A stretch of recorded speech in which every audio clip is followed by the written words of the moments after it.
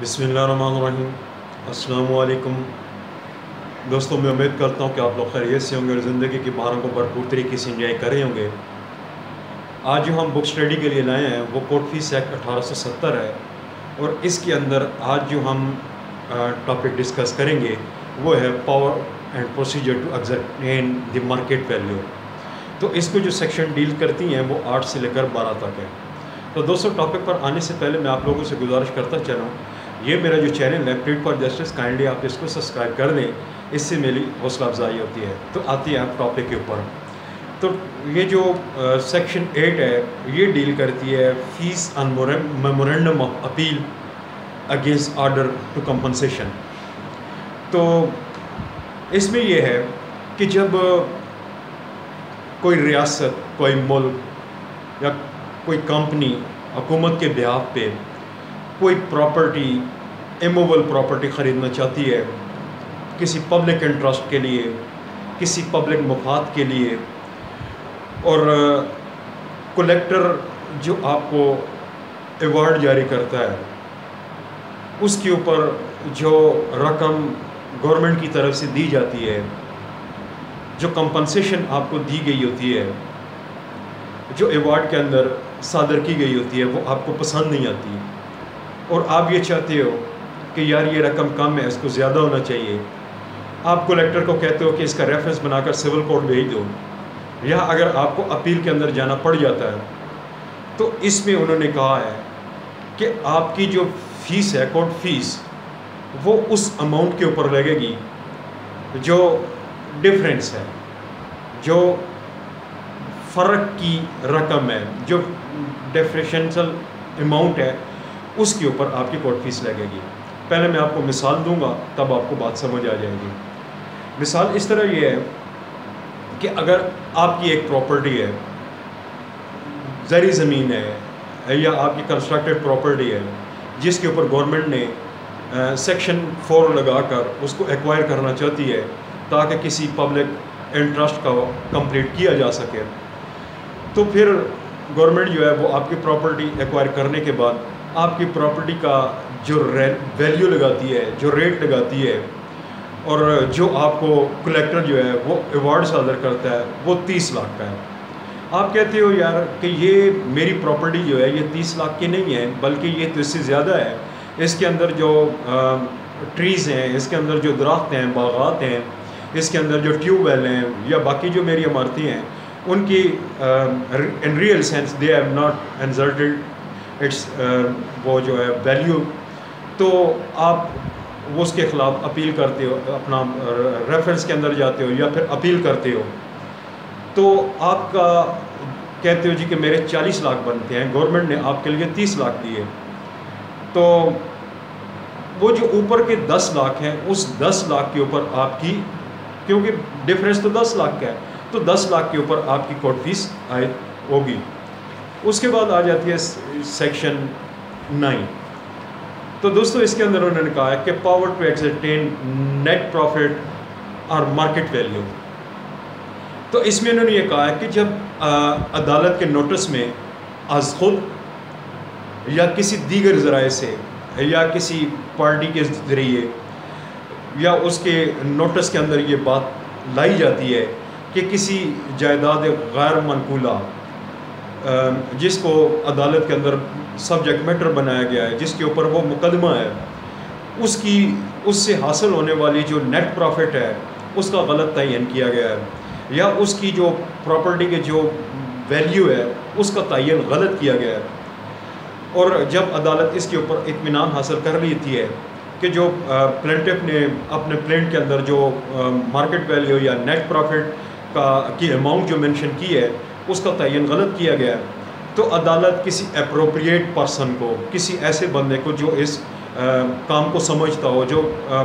Property के काम को समझता हो या नेट प्रॉफिट को निकालने का काम समझता हो या कोई अकाउंटेंट इस तरह का बंदा जो जिसकी पर्सनल क्वालिटीज़ इस तरह के हों जो बंदा फाइनेंस के काम से रिलेटेड हो तो अदालत उसको बतौर लोकल कमीशन मुकर करके इस बात की हदायत दे सकती है कि भाई आप मौके पर जाओ और उस जो जो सब्जेक्ट मैटर है, अगर वो उस किसी इमोल प्रॉपर्टी से हासिल होने वाली, वो नेट इनकम है, उसका दुरुस्त तौर पर तयन करे। अगर वो नेट इनकम नहीं है तो फिर उस प्रॉपर्टी की जो इमोल प्रॉपर्टी है, उसका वो तयन करे और अपनी रिपोर्ट जो है विद इन स्पेसिफिक पीरियड वो अदालत के अंदर दाखिल करे। तो फिर जब वो उसके मुताबिक कोर्ट फ़ीस आयद की जा आयद की जा सकती है। उसके बाद आ जाती है दोस्तों सेक्शन टेन सेक्शन टेन में इन्होंने बताया है प्रोसीजर वेयर नेट प्रॉफिट और मार्केट वैल्यू रॉन्गली एस्टिमेटेड तो इसमें ये इन्होंने कहा है कि जब local commission on the direction of court visit the spot and after conducting inquiry तो अपनी जब वो रिपोर्ट मतलब कि जो नेट प्रॉफिट की या मार्केट वैल्यू की इमोल प्रॉपर्टी से हासिल होने वाला नेट प्रॉफिट की या उसकी मार्केट वैल्यू का दुरुस्त तयन करके अपनी वो जो है रिपोर्ट अदालत के अंदर सबमिट करती है तो फिर उसके बाद उसके अंदर अदालत दो चीज़ें देखती है कि अगर वो जो प्लेंटिव है या एपिलांट है या जो उस मुकदमे का मुदई है उसने अगर वो उसने गलत तयन किया है नेट प्रॉफिट का या फिर मार्केट वैल्यू का, और जो रिपोर्ट आई है, उसके अंदर ज़्यादा मकदार के अंदर, ज़्यादा अमाउंट जो है वो डिटर्मन की गई है, जो लोकल कमिश्नर ने अदालत के अंदर अपनी रिपोर्ट सबमिट करवाई है तो जो उसके ऊपर जो डिफरेंस आएगा, अगर मिसाल के तौर पर प्लेंटिफ ने क्लेम किया सात लाख और उसकी जो एल कमीशन ने रिपोर्ट दाखिल की, वो दस लाख की थी। तो फिर अदालत उस प्लेंटिफ को हुक्म सादर कर सकती है कि भाई, आप जो है, ये तीन लाख के ऊपर जो कोर्ट फ़ीस बनती है, वो अदालत के अंदर दाखिल करवाओ। दूसरी बात, अगर किसी प्लेंटिफ ने अपने दावे के अंदर या अपने अपील के अंदर उसने जो, वो जो है मार्केट वैल्यू है किसी इमोल प्रॉपर्टी का या उससे हासिल होने वाली इनकम का नेट प्रॉफिट जो है उसका गलत तयन किया गया है। और अदालत ने उसके ऊपर कमीशन मुकर किया और वो मौके पे गया और जाके उसने वो दुरुस्त तयन किया आ, वो उसका मार्केट वैल्यू का और जो उससे हासिल होने वाला नेट प्रॉफिट है। तो फिर आ, वो जब उसकी रिपोर्ट अदालत के अंदर आई तो दूसरी बात यह है कि अगर प्लेंटिफ ने वो जो वो तयन किया है, वो दस लाख है।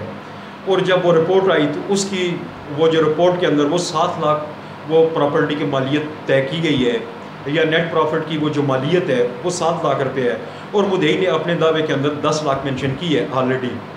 तो अदालत जो है, वो मुदई को हुक्म सादर कर सकती है कि वो एडिशनल फ़ीस जो उसने जमा करवाई है, दस लाख के ऊपर वो तीन लाख के ऊपर जो, वो जो तीन लाख के बराबर जो कोर्ट फ़ीस बनती है, उसको फिर वो रिफ़ंड कर ले। और उसके बाद इन्होंने इसके अंदर एक थोड़ा सा वो वो किया हुआ है कि थोड़ी सी पेनल्टी भी लगाई है। इसमें इन्होंने अदालत ने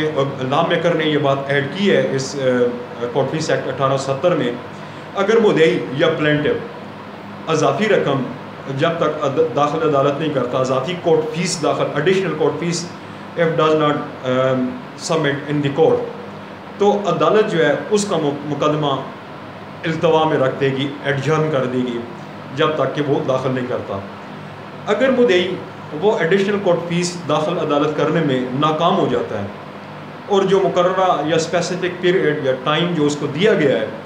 उसके अंदर वो वो कोर्ट फ़ीस सबमिट करने में नाकाम रहता है तो फिर अदालत जो है, उसका मुकदमा डिसमिस भी कर सकती है। उसके बाद दोस्तों आ जाती है सेक्शन सेवन एलेवन सेक्शन ग्यारह। इसमें कहा कि procedure in suit for mesne profit are accounts are accounts when amount, degree exceeds amount claimed इसमें भी तकरीबन सिमिलर उसी तरह की बात की गई है कि अगर कोई बंदा, कोई पर्सन कोई प्लेंटिव मींस प्रॉफिट का या गैर मनकुला जायदाद से हासिल होने वाली आ, जो नेट इनकम है उसका दावा करता है या फिर किसी अकाउंट का दावा जो है वो अदालत के अंदर लेकर आता है। तो जो अमाउंट वो अपने दावे के अंदर क्लेम करता है और अदालत बाद कैलकुलेशन इससे ज़्यादा अमाउंट की डिग्री एक इसके हक में इशू कर देती है। तो इस प्लेंटर या डिग्री होल्डर के लिए ज़रूरी है कि जो अदालत ने additional decretal amount other than the amount claimed by such plaintiff in his plaint और सूट तो जो एडिशनल डिक्रिटल अमाउंट है मतलब कि उसने सात लाख का दावा किया मीन्स प्रॉफिट का, और जब वो अदालत ने कैलकुलेशन की और उसके बाद वो दस लाख बन गया तो फिर वो उसने तो कोर्ट फ़ीस सात लाख के ऊपर जमा करवाई थी, दस लाख के ऊपर नहीं करवाई थी। तो जो तीन लाख रहती है तो अदालत उस पर वो उसको कह सकती है कि भाई ये आप ये तीन लाख के ऊपर जो कोर्ट फ़ीस बनती है, आप इसको अदालत के अंदर सबमिट करवा दें। अगर वो जमा नहीं करवाता तो फिर अदालत उसकी डिग्री को एग्जीक्यूट नहीं करती। मिसाल इसकी ये है कि कोई प्लेंटिफ है, उसने दस लाख रुपए का दावा किया मीन्स प्रॉफिट का, और अदालत ने उसके आग में बारह लाख का दावा जो है, वो डिग्री कर दिया। तो उसके लिए प्लेंटिफ के लिए या डिग्री होल्डर के लिए ज़रूरी है कि फिर वो जो दो लाख रुपये एडिशनल जो कोर्ट ने डिग्री की हैं,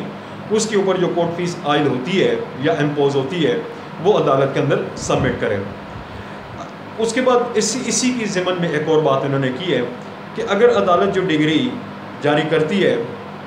और वो मीन्स प्रॉफिट का तयन अपनी ओरिजिनल डिग्री के अंदर नहीं करती